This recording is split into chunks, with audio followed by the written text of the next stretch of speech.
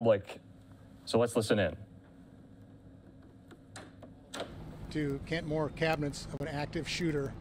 Officers responded to the scene and arrived in a fairly short period of time. However, the shooter had gone by the time officers got here.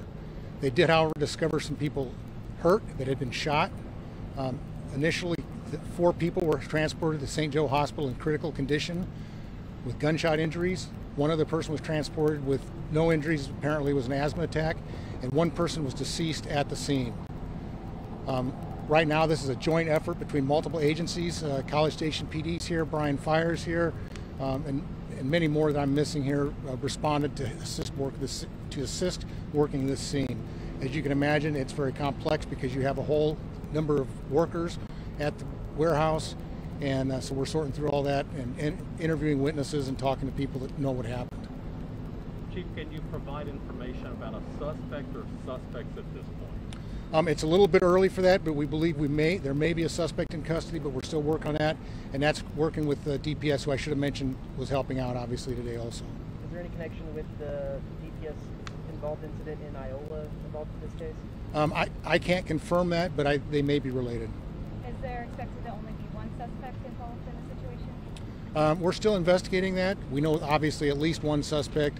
Um, I've heard reports there might have been a couple of other people in the later stages of what occurred, but I don't know that for sure. Any idea at this point a motive or if this suspect had a connection with Kent Moore?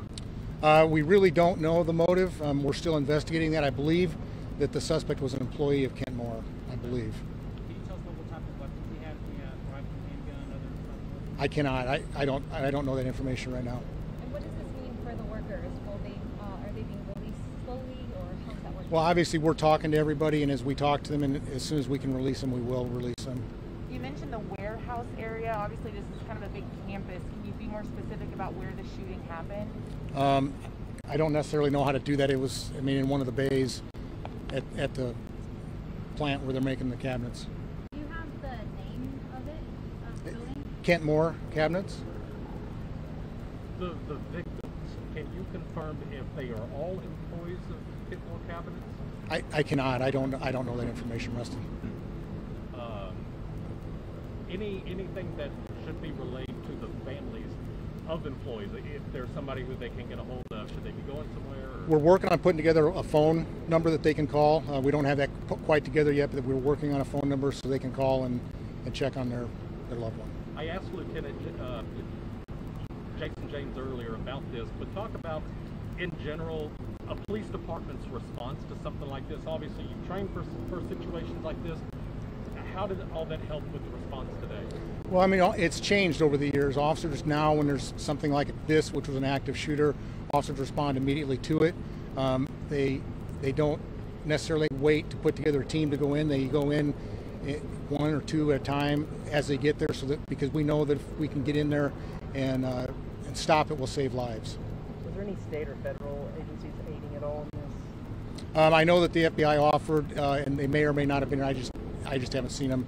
Um, but I know that we've received calls from several federal agencies and other agencies offering to help. All victims at uh, St. Joe's? Uh, I believe so. And I just want to confirm six total. So four at the hospital, one was not injured with the asthma attack, and then one dead. Deceased. That's correct right now. Okay. And then do you know which St. Joseph Health location they were taking? I'm assuming the CH, the main hospital. Fort, Fort O'Brien, one college Thank you. Do you know if the suspect fled on foot initially or in a vehicle or how they got away from Kent Moore? Yeah. I believe in a vehicle, but I don't have that specific information. Chief, how would you describe the level of risk to the broader community in this spring? Um, I mean, if the suspect's in custody, then I, the risk is pretty low. If he's not in custody, uh, then I think everybody should be cautious. But they, you know, should always be cautious. Uh, do you know how long it took the police to respond once the initial call came out on the active shooter? I don't know that time, but I know it was pretty quick because I was listening to the radio and, and heard it. I, but I don't know the exact length of What, time. what's happening right now? What, what? Right now, we're working the, the crime scene. Um, we're interviewing witnesses. Um, we're trying to keep people hydrated, including witnesses and police officers hydrated because it's obviously pretty warm out, as you guys very well know. Um, so it, it just takes a long time to put in a spread out scene, which is a fairly spread out scene. It takes a lot of work and a lot of time to put it all together. Has the suspect believed to have resided in Iola? Um, I don't know that information. And for the case of the, uh, the helicopter here still hovering and people driving by, what should they know about that and, you know, how that should impact them in, in any way? I assume that's a media helicopter. So, it'll, I don't- Uh, anything else, Chief? no, I appreciate you being out here, and uh, I think you got water right.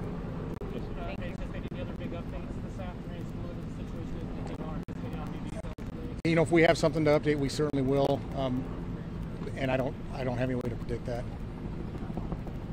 Okay, Chief, thank you so much. Thank you.